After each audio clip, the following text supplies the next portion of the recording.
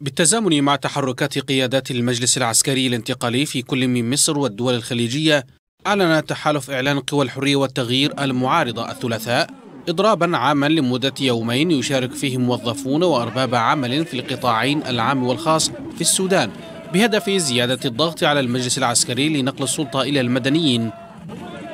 القيادي في تحالف الحرية والتغيير صديق فاروق قال إن الإضراب لمدة يومين هو إرسال رسالة واضحة للعالم بأن الشعب السوداني يريد تغييرا حقيقيا ولن يقبل بأن تظل السلطة في أيدي المجلس العسكري الذي تتهمه المعارضة بأنه أصبح قيادة سياسية وليس مجلسا انتقاليا.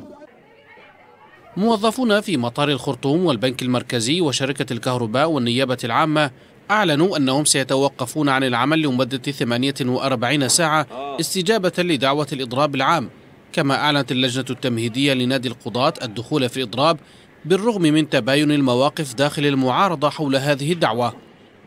فبينما رفض حزب الأمة القومي الإضراب ودعا إلى تجنب إجراءاته أعلن حزب المؤتمر برئاسة عمر الدقير المنضوي في تحالف الحرية والتغيير أنه سيشارك في الإضراب للتنديد بما وصفه تعنت المجلس العسكري. من جهة أخرى لا يبدو المجلس العسكري مستعدا للرضوخ لمطالب قوى المعارضة الداعية للإضراب وإن أعلن عن تمهيد الأرضية لاستكمال المفاوضات معها. نائب رئيس المجلس العسكري السوداني الفريق أول محمد حمدان دقلو اتهم قوى الحرية والتغيير بالسعي إلى احتكار السلطة دون أن يكون لها الثقل والتفويض الجماهيري. مشيرا إلى وجود قوى تهندس للفتنة في البلاد وتسعى للوقيعة بين القوات المسلحة وقوى الحرية والتغيير وفق تعبيره. دقلو قال إن دولا وقوى لم يسمها.